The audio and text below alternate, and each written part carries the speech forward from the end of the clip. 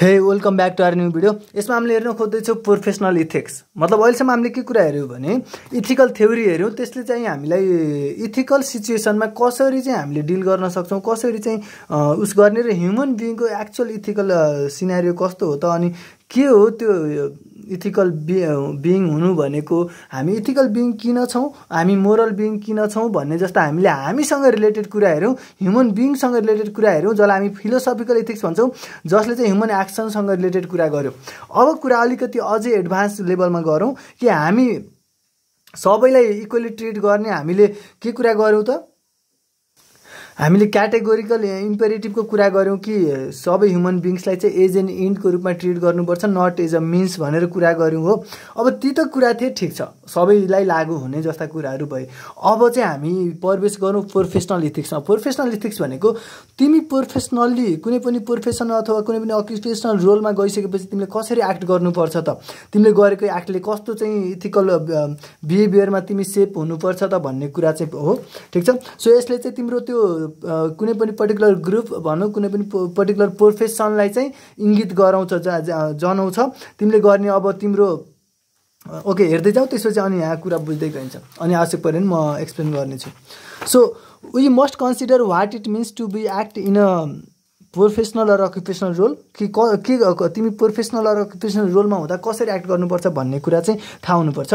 What responsibilities or obligations employee have to their employer तिम्रो जिम्मेवारी र दायित्वहरू के के हुन्? तिम्रो तिमीलाई जागिर दिनेवाला प्रति अथवा दुवैप्रति what can client expect from professional तिमीबाट उसले क्लाइन्टले के कुरा आशा गर्न सक्छ? प्रोफेसनल भइसकेपछि तिमीले के स्पेसल राइट्स एन्ड रेस्पोन्सिबिलिटी पाउँछौ। जुन चाहिँ अरू नर्मल तोरीहरूले पाउँदैनन्। मतलब तोरी भनेर तिमी त्यो अफेन्सिभ नभइहाल होइन? तोरी इन द सेन्स कि मतलब त्यो त्यो राइट त्यो त्यो राइट होल्डर बाहेक त्यो त्यो प्रोफेसनल ग्रुपसँग रिलेटेड बाहेक अरू नर्मल मान्छेले पाउन मिल्दैन भन्न खोजेको। फर इक्जाम्पल अब डाक्टर इन्जिनियर पुलिस लयर यस्ता यस्तै छ नि। डाक्टरले मात्र मान्छेलाई चाहिँ के छ त अपरेसन गर्दा मतलब डाक्टरले मात्र मान्छेलाई चिर्ने मान्छेलाई काट्ने मतलब मान्छेलाई त्यो गर्ने प्रिभिलेज कसलाई छ त्यो अधिकार कसलाई छ भन्दा एउटा डाक्टरलाई छ लाइसेन्स्ड डाक्टरलाई छ। अनि गएर गन लिएर हिँड्न सक्ने अधिकार कोसँग छ भन्दा पोलिससँग छ। हो? अनि यस्तै गरी जस्टिस दिलाउन सक्ने अनि गएर त्यही अनुसारको उसहरू रुलहरू इम्प्लिमेन्ट गर्न सक्ने पावर कोसँग छ त लयरसँग छ। यसरी डिजाइन गर्न सक्ने अनि गएर आफ्नो डिजाइनलाई चाहिँ इम्प्लिमेन्ट गराउन सक्ने अनि गएर टेक्नोलोजीमा केही इम्प्रुभमेन्ट र डेभलप गर्न सक्ने क्षमता कोसँग छ त इन्जिनियरसँग छ हो। यस्तै गरी अब तिमीले त मान्छेलाई काट्ने अधिकार त पाउँदैनौ नि त। किनकि डाक्टर डाक्टर प्रोफेसनलसँग रिलेटेड छ त्यही भएर उसँग त्यो extra special rights and responsibility छ जुन चाहिँ अरू नर्मल अर्डिनरी मान्छेसँग छैन भन्न खोजेको। धेरै प्रोफेसनल रोल्स स्ट्रङली डिफ्रेन्सिएटेड हुन्छ। मतलब धेरै professional roles are strongly differentiated that is the role gives the role holder powers and responsibilities that are exceptions to ordinary morality मतलब अर्डिनरी मोरालिटीमा हामीले जे कुरा गर्नु हुँदैन यस्तो यस्तो भनेर बुझ्छौँ ती कुरा चाहिँ एक्सेप्सनल्ली ती ती स्ट्रङली डिफ्रेन्सिएटेड रोल होल्डरसँग रोल होल्डरसँग प्रोफेसनल रोल्ससँग चाहिँ ती अधिकारहरू हुन्छ। हो? जस्तो मान्छे मार्नु मतलब मान्छे मार्नु त नभनौँ होइन? तर गन लिएर हिँड्ने कुरा त अर्डिनरी मोरालिटीमा त पाइँदैन नि तर police can can have that that rights भने जस्तो कुरा हो। मान्छेलाई काट्ने त्यो उस गर्ने अपरेसन गर्दाखेरिका ती प्रोसेसहरू त अरू अर्डिनरी मोरालिटीमा त पर्दैन नि त। But doctor can do that भने जस्तो कुरा so when you become a member of these strongly differentiated professionals यो टर्म चाहिँ याद गर्नु होला। स्ट्रङली डिफ्रेन्सिएटेड प्रोफेसनलभित्रको मेम्बर तिमी बन्छौ भने अब you acquire special rights and responsibility that are exception to ordinary morality तिमी त्यो त्यो त्यो स्पेसल डिफ्रे स्पेसल्ली स्ट्रङली डिफ्रेन्सिएटेड ग्रुपभित्र पाइने अधिकारहरू अब तिमीले पनि पाउँछौ यदि तिमी त्यहीमा पुग्यौ भने। यसको मतलब हो you have special rights and responsibility both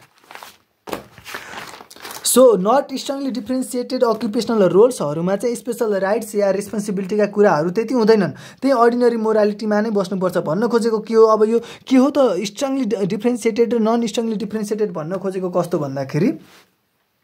strongly differentiated भनेको एकदमै त्यो क्यारेक्टराइज हुने कि त्यो त्यो टर्म त्यो त्यो प्रोफेसनसँग रिलेटेड त्यो पहिले नै त्यो प्रोफेसनै एकदमै छुट्यो भने चाहिँ द्याट इज स्ट्रङली डिफ्रेन्सिएटेड भयो। डिफ्रेन्सिएट छ त्यो चाहिँ र नट स्ट्रङली डिफ्रेन्सिएटेड भनेको सेल्सम्यान अरू यस्तै यस्तै टाइपको नर्मल प्रोफेसनहरू जुन चाहिँले उसको आइडेन्टिटी बुझाउँदैन। उसले उसले ज त्यो त्यो जुन चाहिँ स्ट्रङली डिफ्रेन्सिएटेड छैन एज अ नर्मल अर्डिनरी नै हामी बिहेभ गर्छौँ भने त्यस्ता टाइपका अकुपेसनहरू जस्तो वर्करहरू तिनीहरू तिनीहरूको लागि त अब के के गर्छौँ त हामी? नन स्ट्रङली डिफ्रेन्सिएटेड भन्छौँ। तिनीहरूले चाहिँ अर्डिनरी मोरालिटी नै फलो गर्नुपर्छ इथिकल मोरालिटी नै फलो गर्नुपर्छ। तर special rights and exceptional to ordinary mora morality चाहिँ पाउँदैनन्। त्यसैले प्रोफेसन र प्रोफेसनल भन्ना साथ सिधै यो बुझ कि स्ट्रङली डिफ्रेन्सिएटेड प्रोफेसन प्रोफेसन र प्रोफेसनल भन्नाले नै यो बुझिन्छ कि स्ट्रङली डिफ्रेन्सिएटेड प्रोफेसनसँग रिलेटेड व्यक्तिहरू। अरे भाइ role of computer professional is not strongly differentiated अब यहाँ तिमी समस्या छ। ती स्ट्रङली डिफ्रेन्सिएटेड प्रोफेसनहरूसँग चाहिँ स्पेसल राइट्स एन्ड रेस्पोन्सिबिलिटिज हुन्छ। त्यो कारणले गर्दाखेरि तिनीहरूसँग एक्स्ट्रा अर्डिनरी मान्छेसँग अर्डिनरी मोरालिटी भन्दा पनि एक्सेप्सनल राइट्सहरू तिनीहरूले पाउँछन् हो। र अनि त्यो त्यो कम्युनिटीसँग त्यो प्रोफेसनसँग बिलङ गर्ने इच भनौँ न इच मेम्बरले त्यो राइट्स पाउँछ। जस्तो पुलिस अफिसर बनेको सबै पुलिस अफिसरले त्यो पुलिस अफिसरको रोलमा पाइनेवाला राइट्स एन्ड रेस्पोन्सिबिलिटी पाउने हो। तर के भइदियो भन्दा role of computer professional is not strongly differentiated अब हामी कम्प्युटर प्रोफेसनलहरूको रोल चाहिँ स्ट्रङली डिफ्रेन्सिएटेड छैन। अब लो मारे computer professional हुँदैमा by virtue of being computer professional तिमीले कुनै सोसियली रिकगनाइज पावर प्रिभिलेज पाउँदैनौ किनकि त्यो कुनै स्ट्रङली डिफ्रेन्सिएटेड होइन। तर by virtue of being a police officer you can get that त्यसले त्यो पुलिस अफिसर हुनुमा पाइने कुराहरू चाहिँ तिमीले पाउन सक्छौ फेरि। हो? त्यही भएर कम्प्युटर प्रोफेसनलमा चाहिँ तिमीले पाएनौ। तर तिमीलाई कुनै कम्पनीले हायर गर्यो भने त्यो कम्पनीको इम्प्लोइ हुनुको नाताले तिमीले केही पावर एक्वायर चाहिँ गर्न सक्छौ। To make decisions within that company त्यो कम्पनीभित्र तिमीले डिसिजनहरू गर्न अथवा आफ्नो अर्डरमा अरूलाई काम लगाउन तिम्रो त्यो पावर के हो तिम्रो पोजिसन के हो स्ट्रङली डिफ्रेन्सिएटेड प्रोफेसनल भयो भने स्पेसल इथिकल एनालाइसिस चाहिन्छ। कि तिम्रो निर्णयले अब त्यो तिम्रो स्ट्रङली डिफ्रेन्सिएटेड प्रोफेसनल ग्रुपलाई पनि इङ्गित गर्छ। हो? यसको मतलब के भन्दाखेरि तिमी कुनै एउटा प्रोफेसनल जस्तो पुलिसले आफैले चोर्दै हिँडेन हिँड्न भएन नि त होइन? मतलब इक्जाम्पल दिन खोजेको कस्तो भन्दाखेरि अब पुलिसले चोऱ्यो भने तिमीले के भन्छौ? थाहा छ फल्ना व्यक्तिले चोरेको भन्दैनौ क्या। ए मलाई यो पुलिस त चोर रहेछ भन्छौ। यसको मतलब त्यो व्यक्तिले गरेको नराम्रो कामले पनि उसको त्यो समुदायलाई नै उसको त्यो प्रोफेसनलाई नै झल्कायो नि त। त्यसले गर्दा तिमी यदि स्ट्रङली डिफ्रेन्सिएटेड प्रोफेसनभित्र छौ भने चाहिँ तिमीले गर्ने एक्टिभिटीहरू चाहिँ स्पेसल इथिकल एनालाइसिस गरेर गर्नुपर्ने हुन्छ। कि तिम्रो कारणले अरू तिम्रो समुदायलाई भनौँ न तिमीले इङ्गित गरेर हिँड्दै गरेको प्रोफेसनलाई पनि जनाउँछ। र त्यसलाई समस्या पार्छ। स्पेसल इथिकल एनालाइसिस त अरूमा पनि चाहिन्छ तर अरूलाई फरक पार्ने कारण अरूलाई फरक कारणले चाहिने हो। मतलब अरूलाई पनि चाहिन्छ इन द सेन्स कि अब यो नट स्ट्रङली डिफ्रेन्सिएटेड प्रोफेसनहरू अकुपेसनलहरूले पनि इथिकल एनालाइसिस त गर्नुपर्छ। तर यिनीहरूले चाहिँ आफ्नो त्यो प्रोफेसन ग्रुपलाई चाहिँ असर पार्ने भयो भन्ने हिसाबबाट भन्दा पनि अरू रिजनको कारणले गर्नुपर्छ कि या to be ethical to be moral is the good thing so अब अर्को कुरा भने के हो भने इम्प्लोइमेन्ट कन्टेक्स्ट भन्न खोजेको। इम्प्लोइमेन्ट पोजिसन छ त्यो रुल्स छ रोल्स छ त्यो रोल्स चाहिँ के छ त भन्दा इम्प्लोइमेन्ट भनेको त कम्प्लेक्स इन्स्टिट्युसनल कन्टेक्स्टहरूको एउटा पोजिसन हो। त्यो पोजिसनमा चाहिँ के हुन्छ त? रोल्स एन्ड रेस्पोन्सिबिलिटी हुन्छ। त्यो रोल्स एन्ड रेस्पोन्सिबिलिटी पोजिसन त हमेसा हुन्छ। पोजिसनमा कहिले तिमी पुगौला कहिले अर्को व्यक्ति पुग्ला कहिले अर्को व्यक्ति पुग्ला। त्यो irrespective of the person who came into that position त्यो position holds the right and responsibility हो। अब तिमी त्यो पोजिसनमा गयो भने त्यो पोजिसनले पाउने राइट एन्ड रेस्पोन्सिबिलिटी अब तिमीले पाउँछौ। ठिक छ? So you have power and responsibility for individual acting in this role त्यो रोलमा पुग्नेले त्यो पावर एन्ड रेस्पोन्सिबिलिटी पाउँछ भन्ने कुरा हो। यहाँ तिमी दुईवटा कुरा छ। एउटा कम्प्युटर प्रोफेसनललाई प्राइभेट कर्पोरेसनहरूले काममा लिन्छ अनि तिमी चाहिँ दुई तरिकाबाट जान सक्छौ। एउटा भनेको प्राइभेट कर्पोरेसनहरूले तिमीलाई काममा लिन्छ। इन भ्यारियस कन्टेक्स्ट मतलब भ्यारियस इम्प्लोइमेन्ट रोल्स त्यो कन्टेक्स्ट जुनमा कम्प्युटर प्रोफेसनल छ त्यसले कम्प्युटर प्रोफेसनलको प्रिभिलेज के अरे पावर रेस्पोन्सिबिलिटीलाई एफेक्ट गर्छ। मतलब तिमी त्यो रोलमा तिमी गयौ नि त। भनेपछि अब तिमीले चाहिँ कम्प्युटर प्रोफेसनल एज तिमीले त्यो त्यो पोजिसनको उस पनि पायो राइट्स एन्ड रेस्पोन्सिबिलिटी पनि पायो। एउटा चाहिँ त्यसरी प्राइभेट कर्पोरेसनले तिमीलाई काममा लिएर त्यो राइट्स एन्ड रेस्पोन्सिबिलिटी दिन सक्छ हो। अर्को त्यो इम्प्लोइमेन्ट रोलमा काम गर्ने कुराले you have the power to effect the world अब तिमीले त्यो स्पेसल राइट्स एन्ड रेस्पोन्सिबिलिटी पायौ त्यो स्पेसल राइट्स एन्ड रेस्पोन्सिबिलिटीले चाहिँ अब you can effect the world जसलाई हामी इफिसिएसी भन्ने वर्डले रिफर गर्नेछौँ। यसको मतलब के भन्दाखेरि एउटा पुलिस अफिसरले गन लिन पाउँछ नि त। हो त्यो गनको युज गरेर उसले अथवा त्यो पावरले गरेर उसले चाहिँ अब वर्ल्ड अरू बाहिरी दुनियाँलाई चाहिँ अफेक्ट गर्न सक्छ।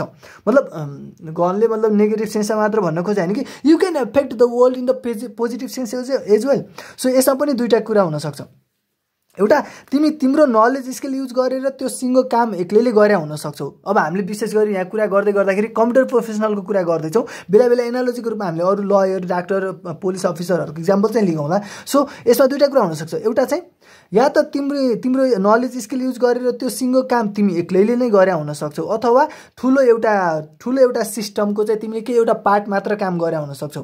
ठुलो प्रोडक्ट या सर्भिस जसमा धेरै थरीका लेगल क्लाइन्टहरू हुन सक्छन् मतलब यो ठुलो कुनै एउटा प्रोजेक्ट जसमा चाहिँ के हुनसक्छ त एउटा इन्डिभिजुअल वर्कर हुनसक्यो अरू अब लेगल प्रोफेसनको लयर पनि काममा लागेका हुनसक्यो इन्जिनियर डाक्टरहरू पनि इम्प्लिमेन्टेड हुन सके त्यसरी इन्भल्भ हुनसक्यो त्यो वालामा तिमी एउटा as a engineer as a computer professional मात्र भएर त्यसमा केही सघाएको हुनसक्यो कुनै पार्ट गरेको हुनसक्यो पाटोको काम गरेको हुनसक्छौ।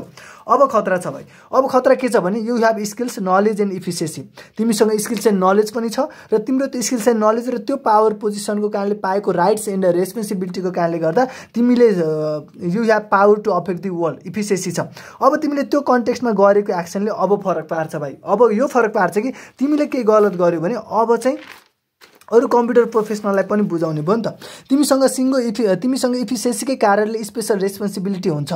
तिमीसँग भएको स्पेसी के अरे स्पेसल रेस्पोन्सिबिलिटी के हुन्छ भने you have power to effect the world त्यही भएर तिमीसँग भएको नलेज एन्ड स्किल्सले चाहिँ वर्ल्डलाई हार्मफुल इफेक्ट नगरोस् भन्ने चाहिँ हुन्छ। ओके सो त्यसैले तिम्रो एक्सनले अरूलाई हार्म हुँदैन या एफेक्ट गर्दैन भन्ने रेस्पोन्सिबिलिटी तिमीमा हुन्छ।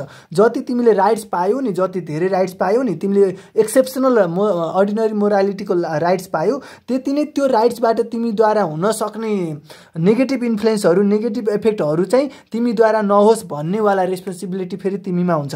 मतलब एउटा पुलिस अफिसरले गन लिएर हिँड्न पाएको छ मतलब उसले दिन दाडी जसलाई पाए त्यसलाई ठोक्न पाउने त होइन नि त। हो त्यो ठोक्यो भने तिमीले लिएको गन कुनै पनि तरिकाले मिसयुज भयो त्यो भयो भने त्यसको रेस्पोन्सिबिलिटी कोसँग हुन्छ भन्दा तिमीसँगै हुन्छ भन्ने सेन्स हो। सो इथिकल डा इथिकल डाइलेममा एनालाइज गर्दाखेरि चाहिँ हामीले अब इथिकल्ली कुनै पनि केसलाई एनालाइज गर्नु पऱ्यो भने सिम्पली त्यो व्यक्तिको कम्प्लेक्स सिचुएसनमा एक्ट गर्दैछ भन्ने मात्र सोचेर हुँदैन। जस्तो हामीले भन्न खोजेको सिम्पली त्यो इन्डिभिजुअल व्यक्तिको अब केस इथिकल्ली केस हेरेर मात्र हुँदैन। जस्तो हामीले त्यो अघि नै जति पनि हामीले युटिलिटारियनिजम र अनि डियोन्टोलोजिस्टहरू कुरा गर्दाखेरि इक्जाम्पलहरू लियौँ त्यतिखेरका कुराहरूमा चाहिँ हामीले अब त्यो सिम्पली त्यो इन्डिभिजुअल एक्टलाई मात्र हेरेर हुँदैन। इन्डिभिजुअली अब अब उसलाई जे इच्छा लाग्यो त्यो गऱ्यो नि त भाइ भने जस्तो सेन्स गरेर हुँदैन। हो त्यस त्यही भएर हामीले के पनि हेर्नुपर्छ भने डोमेन अफ प्रोफेसनल इथिक्स उसको प्रोफेसनल प्रोफेसनल कुन प्रोफेसनको हो र उसको प्रोफेसनल इथिक्सको डोमेनले के भन्छ त? र के के कुरालाई इथिक्स इथिकल मान्छ अथवा कुन वेलाई चाहिँ फलो गर्नलाई अर्डर गर्छ त भन्ने कुरा हेर्नु पऱ्यो। मोरल कम्प्लेक्सिटी अफ इन्भाइरोमेन्ट अब ऊ कुन कन्टेक्स्टमा छ कुन इन्भाइरोमेन्टमा छ त्यो इन्भाइरोमेन्टको मोरल कन्टेक्स्ट कस्तो हुनसक्छ कम्प्लेक्सिटी कस्तो हुनसक्छ भन्ने कुरा हेर्नु पऱ्यो। अर्को भनेको special efficiency that computer professional have in those environment अर्को भनेको स्पेसल इफिसियन्सी मतलब त्यो इन्भाइरोमेन्टमा रहेर computer प्रोफेसनलले how can he effect the world उसले चाहिँ अरू दुनियाँलाई कसरी असर पार्न सक्छ कसरी फरक पार्न सक्छ त भन्ने कुरालाई एनालाइसिस पऱ्यो र उसले गरेका हरेक डिसिजनले चाहिँ अपकमिङ फ्युचरलाई पनि के गर्न सक्छ त भन्दा नयाँ ल प्रोभाइड गर्न सक्छ त नयाँ तरिका दिन सक्छ। त्यो आधारबाट चाहिँ यी सबै कुरालाई एनालाइसिस गरेर अनि बल्ल हामीले इथिकल्ली इथिकल थ्योरिजहरूको एसिस्टेन्टमा अनि हामीले यसरी प्रोफेसनल इथिक्स र फिलोसफिकल इथिक्सलाई युज गरेर हामीले वाइज डिसिजन इथिकल डिसिजन लिन सक्नुपर्ने हुन्छ। अरू स्ट्रङली डिफ्रेन्सिएटेड प्रोफेसनलसँग त्यो ग्रुपमा हुनुकै कारणले स्पेसल राइट र रेस्पोन्सिबिलिटी छ भने हामी कम्प्युटर प्रोफेसनलसँग चाहिँ अब हेर यो यो यो भन्न खोजेको पोइन्ट कस्तो भन्दाखेरि computer professional is not strongly differentiated भनेर अघि हामीले भन्यौँ नि त यसको मतलब हो के भन्दाखेरि अरू स्ट्रङली डिफ्रेन्सिएटेड प्रोफेसनलसँग त त्यो ग्रुपमा हुनुकै कारणले गर्दा उनीहरूलाई राइट्स मिल्या हो नि त। होइन जस्तो पुलिस अफिसर हुनुकै कारणले गर्दा उसले गन लिन मिल्या हो भने जस्तै हामी कम्प्युटर म कम by virtue of being a computer professional मसँग कुनै पनि राइट्स छैन भाइ। तर मसँग के अर्थमा राइट्स छ त भन्दाखेरि by virtue of our skill and knowledge that skill and नलेजको उसले र position we hold in an organisation यो दुईवटा कुराको कारणले गर्दा मसँग अब स्पेसल राइट्स एन्ड प्रिभिलेज छ। अनि यो सँगसँगै मसँग इफिसिएसी छ। त्यो इफिसिएसीले मैले अब दुनियाँलाई एफेक्ट गर्न सक्छु। त्यो रेस्पोन्सिबिलिटी मैले बिहोल्ड गर्नुपर्छ मैले होल्ड गर्नुपर्छ। This is all about professional ethics अब हामीले कुरा हेर्नेछौँ कि क्यारेक्टरिस्टिक्स अफ प्रोफेसन के हो भनेर।